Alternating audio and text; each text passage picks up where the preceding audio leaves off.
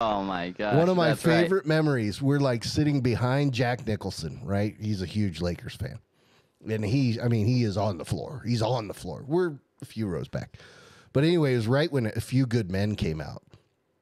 And uh and they put up it's you know, it's TV timeout and on the Jumbotron they put up the ad from a few good men of Jack Nicholson going, You can't handle the truth. And that whole place freaking erupted, man. They just go nuts and they wouldn't stop until Jack stood up and waved to the crowd and then everybody finally shut it down, dude. It was awesome. Jack Very Nicholson celeb fan. Jack You know Nicholson got a, a standing O, dude. It was awesome. That's awesome.